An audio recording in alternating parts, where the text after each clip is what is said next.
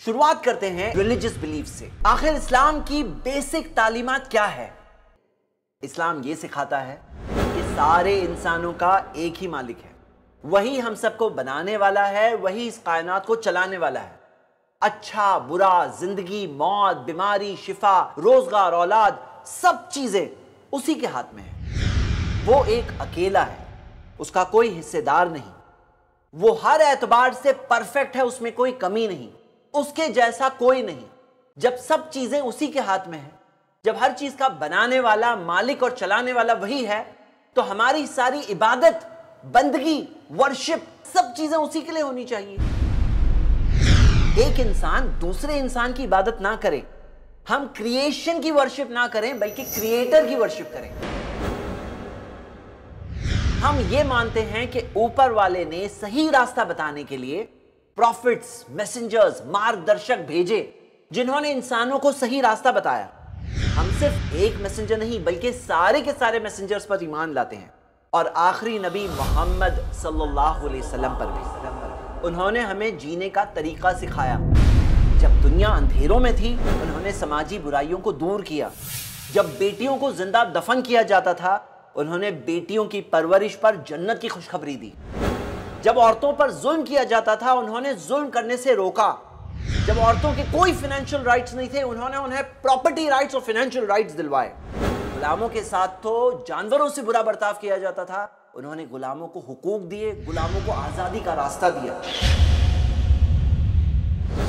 दुश्मन थे लोग, एक दूसरे के साथ जंगे लड़ा करते थे, उन्होंने उन्हें भाई भाई बना दिया। शराब रोका, जुआ रोका चोरी मत करो, धोखा मत दो, भरोसा मत तोड़ो, रिश्वत ना दो। उन्होंने इंसाफ करना सिखाया। उनका खुद का कैरेक्टर उनकी सच्चाई, उनकी पूरी ज़िंदगी गवाही देती है कि वो अल्लाह के सच्चे रसूल थे। हमने उन पर ईमान लाया है। हम उनसे मोहब्बत करते हैं, उन्हें बहुत रिस्पेक्ट करते हैं। हम ये मानते हैं कि कुरान अल्लाह की किताब है। एक अनचेंज बुक जिसकी हिफाजत खुद अल्लाह करता है। कुरान सारे इंसानों के लिए है, सिर्फ़ मुस्लिम्स के लिए नहीं ये किताब इंसानों को अपने मालिक की तरफ़ दावत देती है। हर जमाने और दौर के लिए इंसानों के प्रॉब्लम्स का सल्यूशन है इस किताब में। इसमें कोई ऐसी बात नहीं जो इंसान के नेचर के खिलाफ है, समाज की भलाई के खिलाफ है। इसमें यही सिखाया गया है कि सारे इंसान बराबर है, सब इंसान आदम की औलाद है, इस तरह से दूर दूर के रिश्तेदार हैं। इसमें सिखाया गया है, अपने पड़ोसी के साथ अच्छा सलूक करो चाहे वो किसी भी मज़हब का क्यों ना हो, एक मासूम की जान बचाना ऐसा है जैसे सारे इंसानों को बचा लिया और कोई एक मासूम को मारना ऐसा है जैसे सारे इंसानों को मार दिया। यतीमों पर जुल्म ना करो, रिश्तेदारी कायम करो माँ बाप बूढ़े हो जाओ तो उन्हें उफ तक ना कहो। कोई बुरा भी करे तो उसका अच्छा करके जवाब दो। हमने इस किताब पर ईमान लाया है। हम ये मानते हैं कि मरने के बाद ज़िंदगी है। हम सबको ज़िंदा किया जाएगा और पूरा पूरा हिसाब किया जाएगा। जिसने हमें पहली बार बनाया, उसके लिए फिर से बनाना कोई मुश्किल बात नहीं। एक दिन है कयामत का दिन, जिस दिन सारे इंसान अपने मालिक के सामने खड़े होंगे।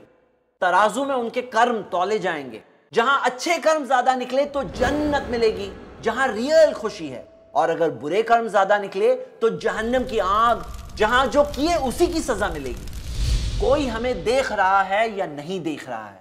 ऊपर वाला हमें देख रहा है। और हमारा हिसाब तैयार हो रहा है। और क़यामत के दिन चाहे अल्लाह का हक हो या बंदों का हक हो एक दूसरे पर, पूरा पूरा इंसाफ किया जाएगा। आप खुद बताओ, जो दीन ये सिखाता है, वो कैसे किसी का बुरा सिखाएगा? इबादत में हम ये मानते हैं कि दिन में पाँच वक्त नमाज़ पढ़ना है। जो शख्स सच्चे दिल से अपने सर को अपने मालिक के आगे झुका दे, उसमें घमंड नहीं हो सकता। वो लोगों के साथ बुरा नहीं कर सकता। उसकी नमाज़ उसे रोकेगी बुराइयों से। उसकी नमाज़ उसे रोकेगी बेहयाइयों से। जब कंधे से कंधा मिलाकर लोग खड़े हो जाते हैं तो उनके बीच कोई ऊंच नीच नहीं रहती। हम ये मानते हैं कि जिसके पास पैसा है, उसे अपने माल का 2.5 परसेंट जक़ात के तौर पर गरीबों को हर साल देना है। हम ये मानते हैं कि साल में एक महीना ऐसा है जिसमें हमें पूरा दिन रोजा रखना है, ताकि जिस चीज़ से गरीब लोग रोज गुजरते हैं, उस चीज़ से एक बार जब एक महीना एक इंसान गुजरेगा, वो उनके उस दर्द को खुद महसूस कर सकता है। हम ये मानते हैं कि जिसके पास पैसा है, उसे हज करने तो जाना चाहिए। जहाँ सारे इंसान, चाहे अमीर हो या गरीब हो, बादशाह हो या फकीर हो, वही लिबास में होंगे, और वो उसी काबे का तवाफ करेंगे। इस घर के रब की इबादत करो, ये बात उन्हें सिखाई जाती है। आप खुद बताओ कि जो मज़हब ये सारी तालीमत देता है, क्या वो मज़हब किसी पर भी जुल्म या नाइंसाफी करना सिखा सकता है? ज़रूर कमेंट्स में बताएँ।